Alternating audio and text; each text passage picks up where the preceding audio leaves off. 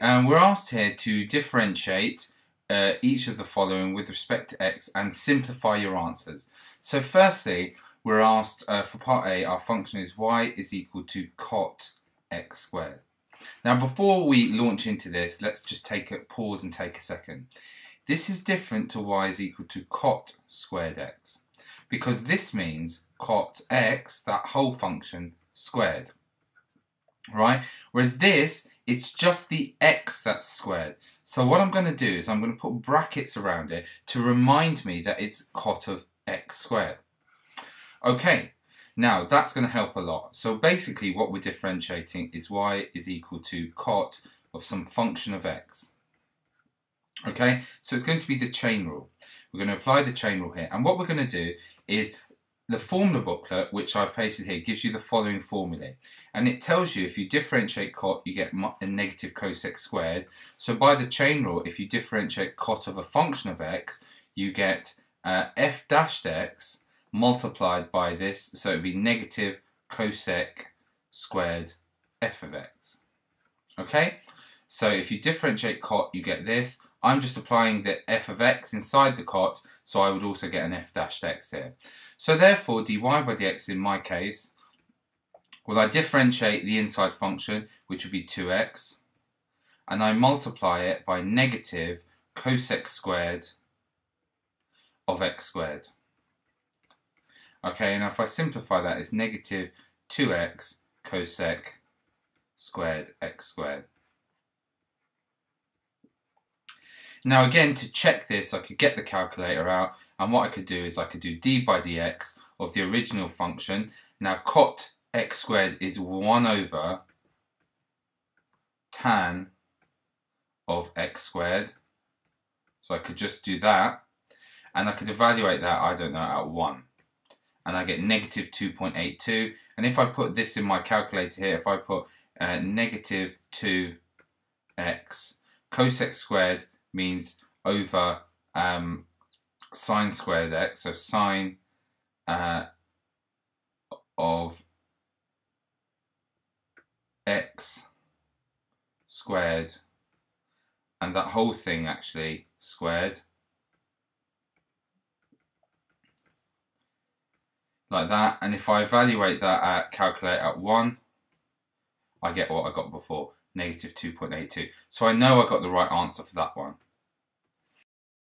one. Uh, I, my function is, uh, for part B, y is equal to x squared e to the negative x. You should immediately spot this as a product of two functions of x, where u is equal to x squared and v is equal to e to the negative x. So u dashed must be 2x and v dashed must be negative e to the negative x. Okay, so off we go. We state the rule we're going to use. We're going to use the product rule. So dy by dx is equal to uv dashed plus vu dashed. And just a substitution game here, so these two multiplied together would be x squared negative e to the negative x, and these two multiplied together 2x e to the negative x. Could do a bit of factorization, could obviously factorize out an x and an e to the negative x, and what you're left with here, a negative x uh, plus a 2. And the neatest way of writing that is x e to the negative x to subtract x. Again, I would check this with my calculator uh, using the d by dx function here. d by dx, my original function, substitute a value in and check it equals uh, the same as when I substitute my value into the answer. Up to part C, sine x over 3 plus, uh, so our function for part C is y is equal to sine x over 3 plus 2 cosine x. Um, yes, that's right. And immediately we should spot this as a quotient with that our u, that our v, where our u is equal to sine x and our v is equal to 3 plus 2 uh, cos x, cosine x. So therefore our u dash would be cosine x and our v dash would be negative 2 sine x. And we proceed by stating the quotient rule, dy by dx is going to be vu dash, subtract uv dash, divided by v squared. It's a substitution game here, so vu dash, these two multiplied together, so we've got 3 plus 2 cosine x and multiplied by cosine x. Subtract these two multiplied together, so it's going to be negative 2 sine x multiplied by a sine x. And all of that divided by uh, v squared, and v squared is 3 plus 2 cosine x all squared. Okay, do a bit of tidying up here. If I multiply out the top, I get 3 cosine x plus 2 cos squared x. And then subtract negative this, so it would be a plus, and we get 2 sine squared x.